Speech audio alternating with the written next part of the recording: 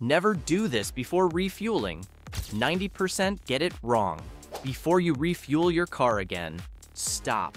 Because what most drivers do right before pumping gas is quietly destroying their fuel system, wrecking sensors, and even increasing their risk of a fuel vapor explosion. And here's the shocking truth.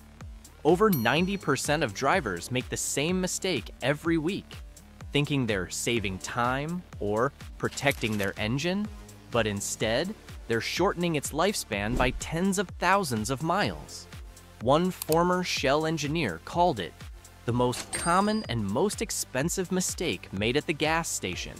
In this video, I'll expose exactly what you should never do before refueling, the hidden science behind why it ruins engines, and the correct refueling routine that top mechanics and fuel chemists swear by. And stick around until the end, because the final tip could literally prevent your car from catching fire at the pump.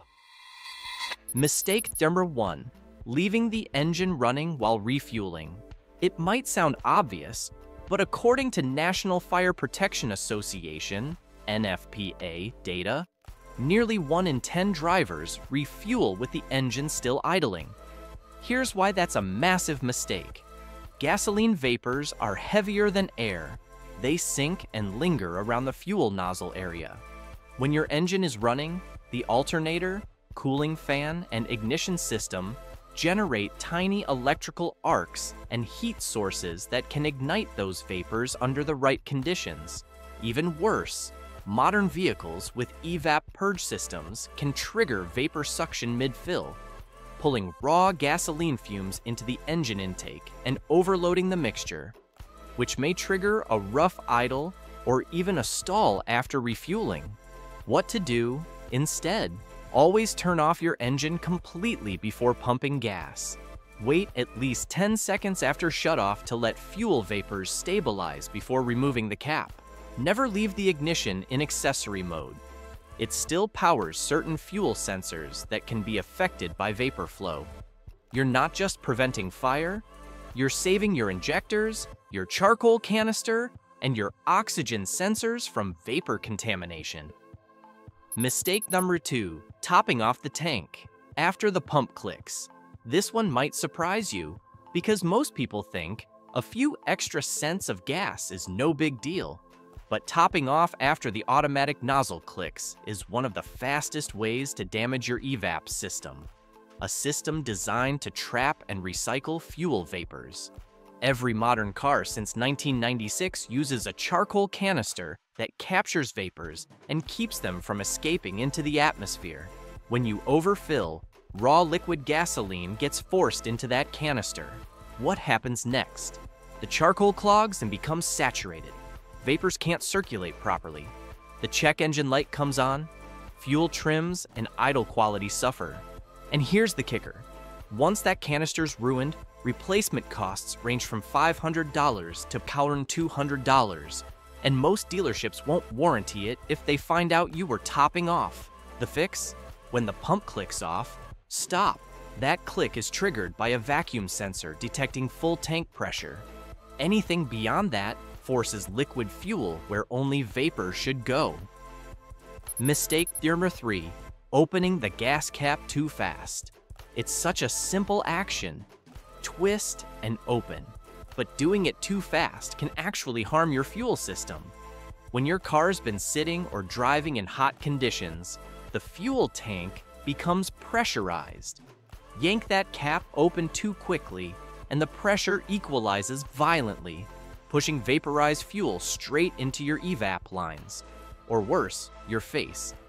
This sudden pressure change also confuses the fuel tank pressure sensor, which may log a false evap leak code PFRM 5 or PO4C6. Correct method.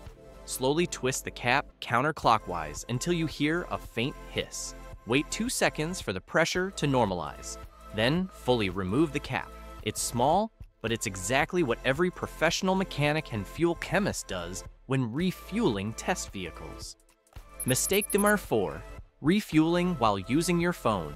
You've seen the warning signs. No cell phones, But have you ever wondered why? It's not about the phone's signal, it's about static discharge. When you handle your phone, your body builds static electricity, especially in dry climates or when wearing synthetic clothing. Now combine that with gasoline vapors and a metal pump nozzle, and you've got all the ingredients for an ignition spark. According to a Petroleum Equipment Institute report, there were over 150 documented static-related fires at gas stations between 2000 and 2022, nearly all involving drivers who re-entered their cars or handled phones during fueling. What to do instead? Leave your phone in the car while fueling. Always touch a metal part of your vehicle, like the door frame, before touching the nozzle to discharge static safely. If you must use your phone, step away from the fuel pump first.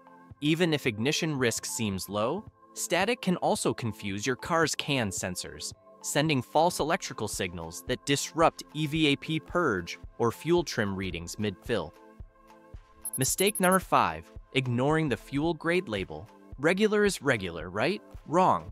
Not all 87 fuels are the same and using the wrong octane or ethanol blend can silently destroy your injectors and fuel pump over time. High performance engines designed for 91 plus octane rely on knock sensors to detect pre ignition.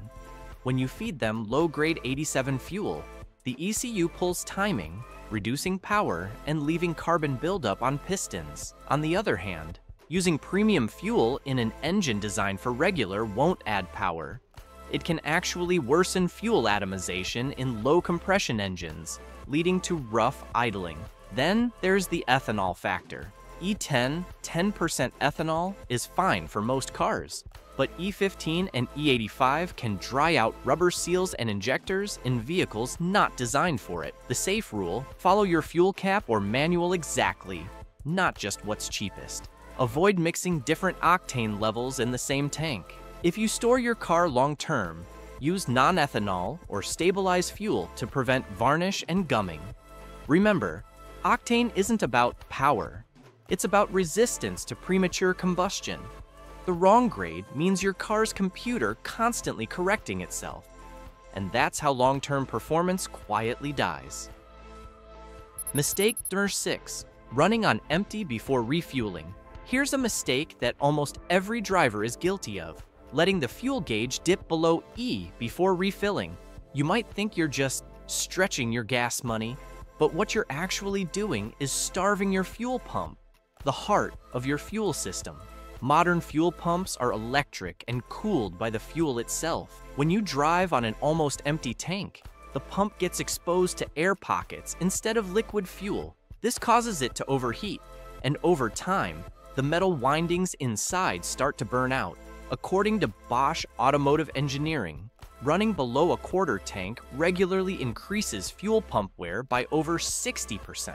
And once that pump fails, you're looking at $600 to $1,500 in repair costs, all because of one more day of driving on fumes. What to do instead? Always refuel when your gauge hits a quarter tank. In summer, this prevents vapor lock. In winter, it prevents condensation buildup that leads to water in your fuel. That small habit keeps your pump cool, your injectors lubricated, and your wallet safe. Mistake 7. Refueling. Right after the tanker truck fills the station, you pull into a gas station and see a big tanker truck pumping fresh fuel into the underground tanks. That's when most people think, perfect timing, fresh gas. But here's the truth that's the worst time to refuel. When tanker trucks fill underground storage tanks, they stir up sediment, water, and rust that sit at the bottom. These impurities stay suspended in the fuel for hours. If you pump right after, all that debris gets sucked straight into your car's tank, and from there, into your injectors and filters the Automotive Petroleum Institute found that engines refueled within two hours of a station delivery showed a 27% higher particle contamination rate in their filters. The safe rule if you see a tanker at the station, wait at least four every six hours before fueling, or go to another station. Use stations with modern filtration systems and high turnover, like busy freeway stations. Their tanks are cleaner. Clean gas isn't about price, it's about timing. Mistake number 8. Using additives. Right before filling up, fuel system cleaners and octane boosters can be great, but only if used correctly. Adding them at the wrong time or in the wrong sequence can actually neutralize their effect or even damage your injectors. Here's the science. Most additives need direct contact with existing fuel to mix properly. If you pour them in right before refueling, the incoming gasoline churns and causes the detergent to foam. That foam traps air, leaving the additive unevenly distributed and less effective.